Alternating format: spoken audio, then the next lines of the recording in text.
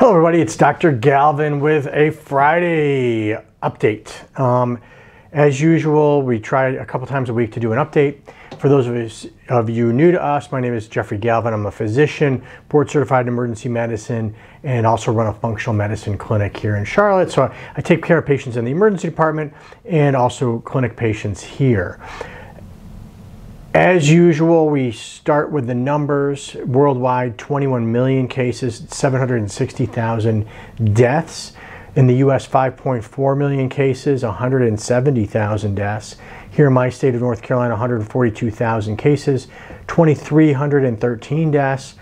Um, you know, we've talked a little bit about positivity rates and things like that, and, and positivity rates are going down in North Carolina. And that's a pretty good indicator of what the virus is doing in the community. That positivity rate basically means if, if we do 100 cases, you know, what percent of those cases are coming back positive? And, you know, a month ago in North Carolina, that number was around 10%. And it's now dropped to between 5 and 6%. We figure that if it goes below 5%, it, you, you think that the virus is getting under control. I believe in New York State now it's less than 1%, and that, that seems to be fully under control. But it's important to, to watch those numbers, and those look like adding masks and things like that have had a significant impact on the number of positive cases. So that's good news. Um, what you may notice, and you know, this is the news cycle, right? They, they want to be sensational. And so you're hearing lots of, of information that we're, we're setting record numbers of deaths. Well, does that mean that the virus is getting worse? Well, actually, if you look at the overall numbers, overall case numbers are actually starting to go down. So why would we have increasing deaths if our case numbers are going down? Well, it has to do with the, the sort of pathophysiology of the disease. When people die of COVID-19, they don't die instantly. It's not like they catch it and then drop dead. So there's a progression. Typically, people get exposed, they're asymptomatic for a period of time, they develop symptoms, and a subset of those people are going to get pretty sick and they end up maybe in the hospital. They get admitted to the hospital, and actually, a lot of them are kind of sick for a couple days, and then they look like they get better, and then all of a sudden they get much worse. And they sort of precipitously decline and ultimately end up in the ICU, and some of those people end up on a ventilator and a percentage of those end up dying. But when do the deaths occur? The, the deaths occur far later. So they lag far behind when they were admitted to the hospital. Many, you know, there's many cases of people lingering on a ventilator, you know, three, four, six weeks before they actually succumb to the virus.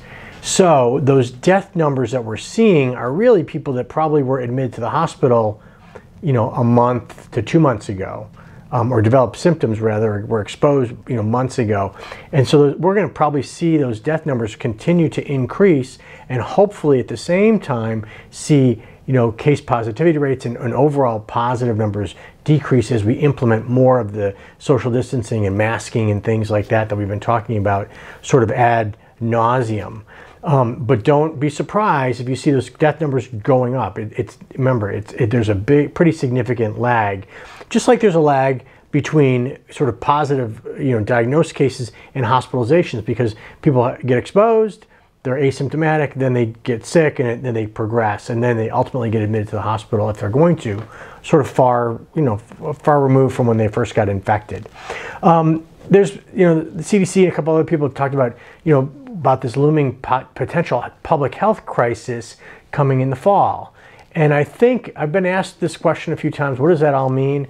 Well, basically, it means this: you got this virus, you know, the, the SARS-CoV-2 that causes COVID-19, that's rampant in our our population right now in the U.S.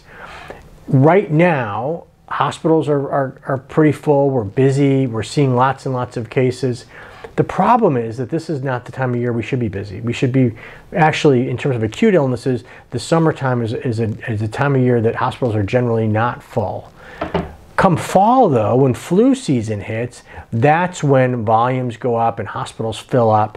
So if you take sort of the, the ongoing crisis with COVID and you add on to it the flu and all the other winter illnesses, you can see where we can kind of have a, a, a mashup of, of sort of competing illnesses that can be very significant and it can significantly impact the healthcare system and patients as well. Now, you know, it, one of the worst flu years we ever had was I think 2017 and 18 H1N1, and I think 70 to 80,000 people died of the flu that year. I think this past year the numbers were more like 40,000. Now the good news is that the same things that sort of prevent us from catching COVID are also going to prevent us from catching the flu. So that's why flu numbers were pretty low this year because you know if you social distance and, and you um, you're washing your hands and everything else, not only are you not going to give people COVID, you're not going to give them the flu, you're not going to give them colds or any other of these sort of infectious respiratory diseases. The flu vaccine, you know, is important. We, we've you know, about 50% of the country gets the flu vaccine. It's actually pretty effective.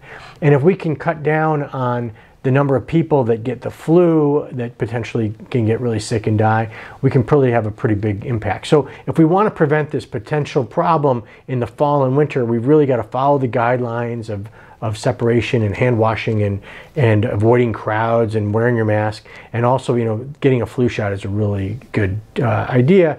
Flu shot is, is, is been used for a long, long time. It's safe. Um, and it, you know it, it's relatively effective. There are some years that it's better than others. Remember, the flu shot kind of uses the the, the flu version from the previous year because it mutates a little bit. And generally, if you're immune to the the prior flu, then the new strain you're usually immune to too. Um, another interesting thing that came out, I think today from the CDC was they actually gave some guidance about um, immunity. And we, you know, we, immunity has been a big question. There's been a number of studies that show that when people develop COVID-19, many of them develop antibodies, but also some studies have shown that that antibody protection may not last. There's been a few studies that shown after about three months, some percentage of people lose the antibodies. Now, we don't know if that may mean that you still have T cell immunity, and, and we don't really know. And I mean, just as a rule of thumb, like I'm not the world's brightest person, but like I, I look at 21 million cases worldwide, and we have not seen you know, a huge amount of cases reported of people getting COVID more than once.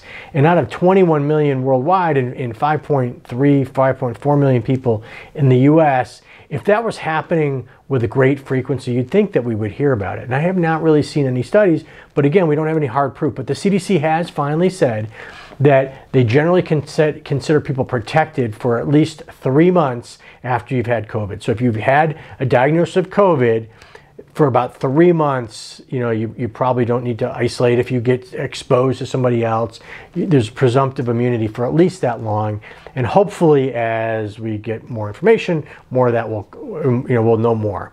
Uh, a couple other things, you know, we've talked about monoclonal antibodies, and, and that, that may be a really excellent treatment for the virus because they're synthetically created antibodies against either pieces of the virus or the virus itself. And it, it, it sort of uses the same um, idea of convalescent plasma. We have these antibodies. If we inject them into somebody, they, they may be helpful. The problem is that the studies that are following, that are, looking at these treatments are getting delayed, and, and in part because of staffing issues, um, space issues, um, and sort of reluctance of people to sign up for these studies because you know people are, are somewhat you know it, it's a a study that you got to sign up for and you may get a placebo. So some people don't want to do that if they're going to get treated. The other thing there's a little bit of a time window. So most of the re- it requires treatment to start within seven days of symptom onset and generally within three days of a positive test but the testing delays so people get symptoms they're not really sure if they get it maybe three days later they get tested. Well, if the test takes four days to come back, then you missed your window. So they're struggling, and there were a number of companies that were saying they would have, you know, maybe workable treatments in September um, or maybe October, and now a number of those companies are now saying, you know, end of the year, first quarter next year. So I think there's been some delays in that, and that's unfortunate. I'm going to end things there. Um, I hope everybody has a really wonderful weekend. The one last thing I did want to bring up is I did post something on our Facebook today page today about this sort of blossoming problem of depression, anxiety, and um, suicides. Real, you know, largely related to the virus, probably, and all the changes and everything else. So, you know, what can we do? Well, we can keep our eyes open. You know, sometimes it's just someone noticing is enough to make, you know, to really make a difference in somebody's life. So if you notice friends of yours or family members that are maybe acting a little bit unusual, you know, talk to them, find out what's going on, and if they, and if they, you think that they're suffering from depression, try to let's help them get some, try to get them some help. I know it's not easy, but we've got to keep our eyes open and we've got to look out for each other. As usual, wash your hands, wear a mask, take care of yourselves, take care of your families, take care of those around you. I'll be back. Oh, and there is a hormone lecture coming up. We had some technical difficulties, so we have to refilm it, but I will be posting it probably early next week, and my apologies. Have a great weekend. Stay safe.